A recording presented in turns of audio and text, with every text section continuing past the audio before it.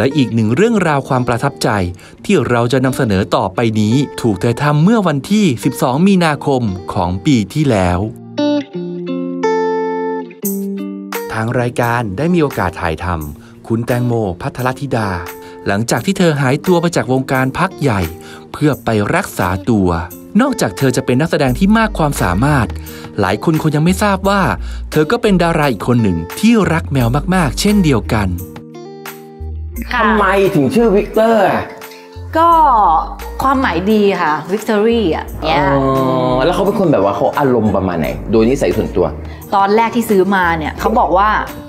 น้องมันจะดุหน่อยนะ แต่ตั้งตั้งแต่ซื้อมาจนวันเนี้ยสิบปีเนี่ยอ๋อง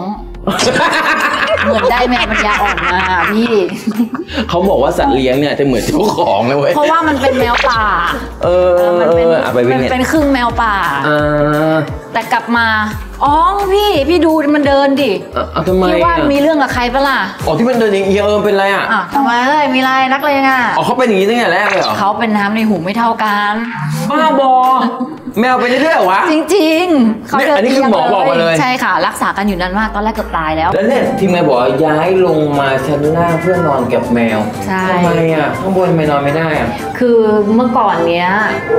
เรายังสภาพจิตใจโอเคอยู่อ๋อเราสามารถนอนคนเดียวได้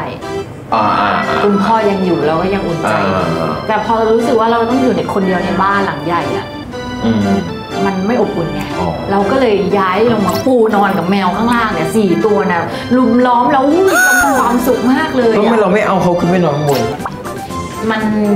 มันขนขนยุ่งยากกว่า ใช่ขนมันเยอะอะค่ะอ๋อทำความสะอาดยาก ทุกวันนี้ก็ยังนอนนอนข้างล่างใช่อยู่ค่ะใช่ แล้วที่บ้านเนี่ยมีนอกจากวิกเตอร์แล้ว เห็นบอกมีอีก มีไอ้บวยไอ้บวยบวยนี่จะเป็นแมวสฟิงค์ที่ไม่มีขน โอ้ยชอบโอ้น่ารักมาก แพงนะสฟิงค์อะใช่ก็ก็ เกือบเกือบแสนที่ได้มา แล้วแล้วได้มาได้ยังไง ที่ฟาร์มเขาเป็นสนิทกับโมอยู่แล้ว อ๋อ ทีนี้เขาก็มีสฟิงค์ที่แบบเออราคาย่อมเยาวหน่อยเพราะโมเคยบอกเขาว่าโมเขาโทรอยากมาบอกได้เลยเขาก็ส่งรูปมาให้ดูอะไรเงี้ยโมก็อืม ซื้อเงินผ่อนเอา อ่าโอเควิกเตอร์แล้วสฟิงค์แล้วอะมีใครอะอีแล้ก วก็ไอ้บ๊อบ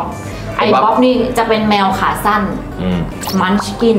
เออแล้วหูพับด้วย อะคนนี้เขาเป็นยังไงบ๊อบเป็นไง บ๊อบนี่ก็จะขี้กลัวหน่อย จะไม่เป็นแบบนี้จะขี้กลัวโรคส่วนตัวสูง แต่ว่าเวลานอนเนี่ยเขาจะมานอนกับเรา โอเคอะเหลืออีกตัวหนึ่งอีกตัวหนึ่งก็เป็น